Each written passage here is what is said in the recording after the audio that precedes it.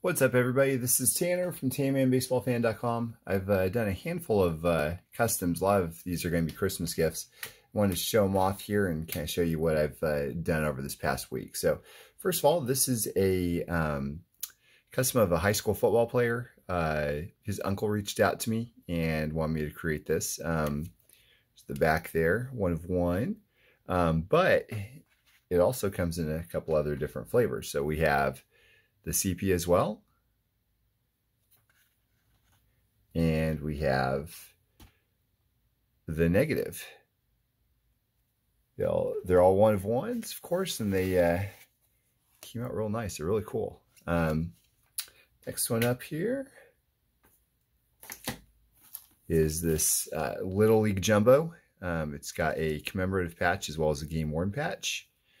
Um, it is uh, about the size, or exactly the size, basically, of an opened up vertical booklet. So fits perfectly um, in a one-touch vertical booklet holder. Um, came out real cool.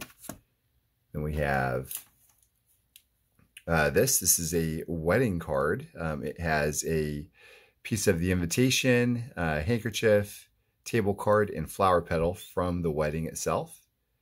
Um, so the photographer made all these different kinds of uh, little flower petals kind of go throughout the picture. So what I did is I brought a few to the foreground and brought them out around uh, the card as well. Um, so that way it kind of incorporates it nicely. Um, so there it is there. And uh, last but not least, I'll show a couple of the, you know, kind of same ones here. Uh, well, I'll go ahead and show all of these guys. So we have some custom chew toy cards of some dogs. Um, so you see that there, but uh, I think probably these two are some of my favorite just because of the relics themselves. They're tennis balls.